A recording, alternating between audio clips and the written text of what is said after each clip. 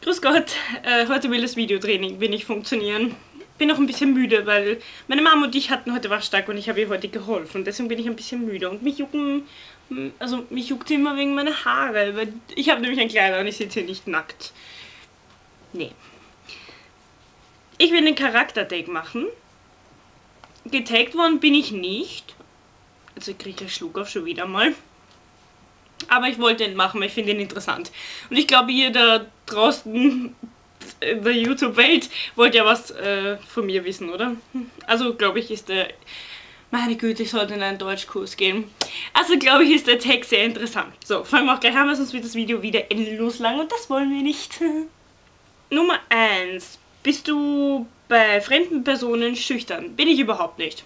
Also ich habe damit kein Problem jetzt mit Fremden, also wegen dem Weg jetzt nachzufragen oder sowas. Kann ich nicht, also kann ich nicht sagen, dass ich da schüchtern bin.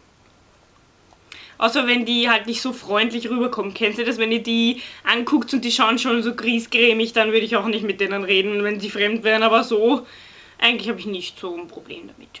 Nein, ich bin ein offener Mensch, was das betrifft, mit Leuten reden und so. Nummer zwei, gibst du Obdachlosen Geld? Ich habe äh, im Februar, wo ich in dieser Schule da eine Woche als Probe gearbeitet habe, habe ich, eine, hab ich eine Frau gesehen mit einem Hund. Also eine Obdachlose mit einem Hund. Und ich habe ihr, also ich bin nur an ihr vorbeigegangen. So, und dann später habe ich überlegt, bin ich auf der Ski stehen geblieben und habe überlegt, soll es dir Geld geben für einen Hund? Und dann bin ich nochmal zurückgegangen und habe ihr 2 Euro in die Hand gedrückt. Habe aber gesagt, das ist für einen Hund. Weil manchmal, glaube ich, die Obdachlosen, ich weiß nicht, ich kenne keine Obdachlosen jetzt, aber ich glaube, die setzen sich manchmal nur mit die Hunde hin, damit sie dann das Geld anstreifen. Und das ist nicht gerade wirklich das arme Hündchen, sage ich nur. Aber so, wenn ich jetzt zum Beispiel in Floridsdorf unterwegs bin, sind ja auch viele, was dort sitzen und betteln. Nee, mache ich nicht, weil ich habe da mal eine schlechte Erfahrung äh, mitgemacht. Mein Ex-Freund hat nämlich mal einen Obdachlosen einen Burger gekauft und der hat ihn am Boden geworfen und mit dem Fuß wegtreten. Das ist eine wahre Geschichte, das ist wirklich passiert. Und ich war da so schockiert, dass ich mir dann gesagt habe, selber, ich gebe nie wieder jemanden was Obdachloses ein Geld, weil die sind nicht dankbar, die kaufen sich eh nur irgendein Shit vielleicht oder sowas, weil sonst hätte das ja angenommen und nicht einfach am Boden geworfen und mit dem Fuß wegkickt. Also ich würde keinen. Außer das mit dem Hund, das war eine Ausnahme. Weil der Hund war wirklich extrem dünn. Aber sonst, nein, tut mir leid, mache ich nicht. Meine Haare gehen mir am Arsch. Nummer 3. Bist du vertrauenswürdig? Schon. Außer wenn man mich richtig wütend macht, dann geht es vielleicht so weit, dass ich ein Geheimnis verrate. Wenn man mich richtig wütend macht. Also so im Streit, wisst ihr vielleicht auch, sagt man ja viele Sachen meistens, die man nicht sagen sollte. Aber ich glaube schon. So halbe halbe, würde ich sagen. Nummer 4. Setzt du dich in irgendeiner Organisation ein oder spendest du Geld? Leider nicht. Äh, durch das, dass ich... Da verschlucke ich mich gleich. Durch das, dass ich Arbeitslosengeld bekomme, was ja natürlich nicht viel ist, ich glaube viele Arbeitslose wissen das, äh, geht das leider nicht. Aber wenn, würde ich auf jeden Fall äh, in Tierheime oder so spenden oder sowas. Das würde ich schon machen. Aber jetzt zurzeit nicht. Nummer 5. Worauf legst du in deinem Leben am meisten Wert? Naja, dass mir an nichts fehlt, dass ich, äh, also jetzt nicht, dass ich alles habe, was ich will, das jetzt nicht, aber dass mir halt nicht das fehlt, was ein Mensch wirklich braucht. Das ist für mich im Leben wert. Hm? Kann man das so sagen? Nummer, warte, das ist die Frage. Nummer 6. Glaubst du, dass du gut teilen kannst? Ja, ich kann gut teilen. Aber nur, wenn es die Situation erfordert und ich den Menschen noch mag. Nummer 7. Wenn du etwas verschenkst, wie sehr machst du dir darüber Gedanken, was das Passende sein könnte? Wenn ich etwas schenke, dann passe ich auf, was die Person interessiert. Also ich schenke schon die Sachen, die jemandem gefallen. Also ich gehe jetzt nicht her und äh, kaufe jetzt irgendein Parfum, das was mir gefällt und schenke es den anderen, weil es könnte ja sein, dass das denjenigen nicht gefällt. Ich, also zum Beispiel meine Cousine wollte mal den Green Smoke von MAC haben Und sie hat das nicht so wollen wegen dem Preis eben und dann habe ich ihn damals zu Weihnachten gekauft. Oder meine Freundin, die wollte dieses McFix Plus haben und das habe ich ihr auch damals dann zu Weihnachten gekauft.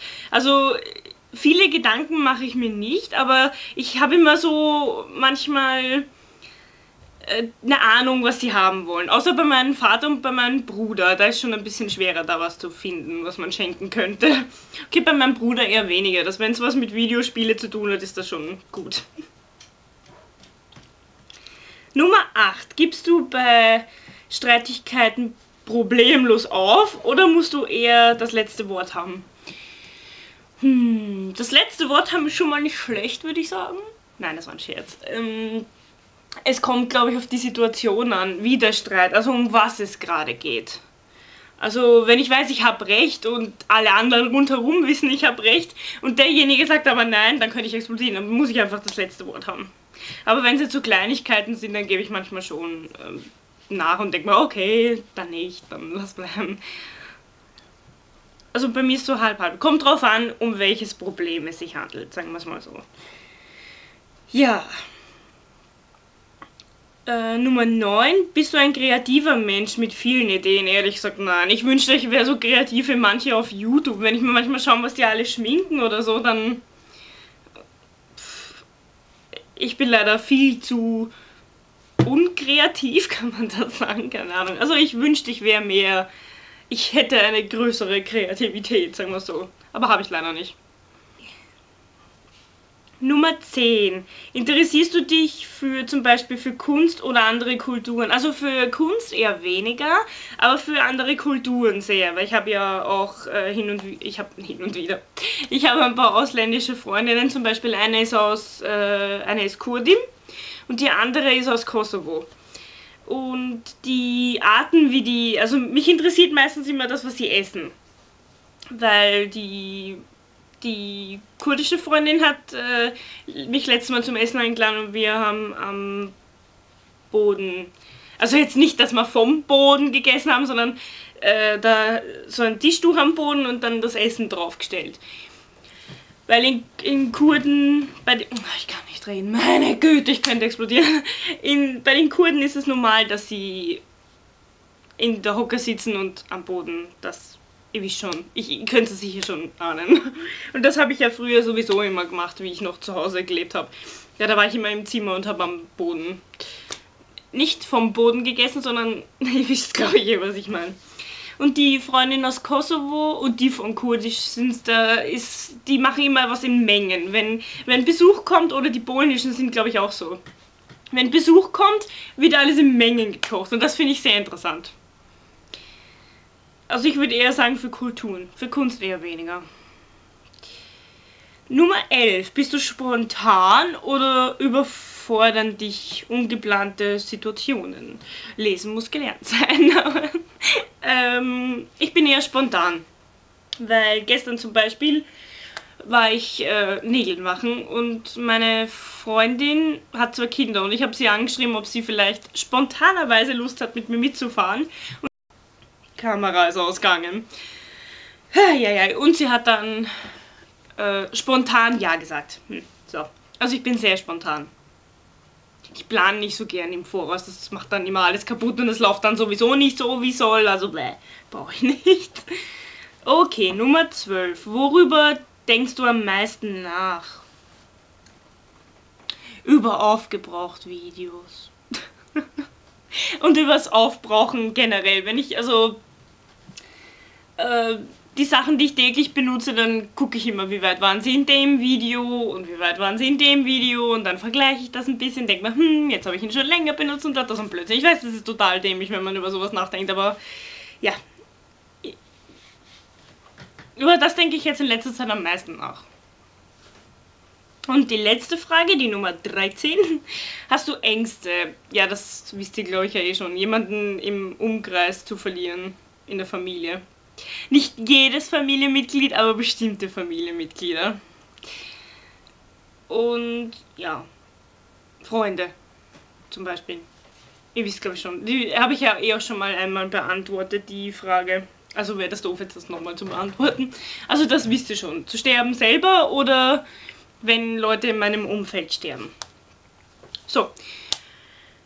Ja, gerade vor dem Schluss muss ich mir die Kamera rausgehen, so ein Schande, aber auch, okay, das war jetzt das Video. Mich nerven da meine Haare, weil da ist die Schleife und die Haare wickeln sich da immer drum. Das macht mich irre, wirklich wahr. Okay, ich werde jetzt wieder ein paar Videos vordrehen, aber das kennt ihr ja eh schon von mir. Also sehen wir sich im nächsten Video. Vielleicht kriege ich in dem auch meine Haare unter Kontrolle. Also bis dann, tschüss!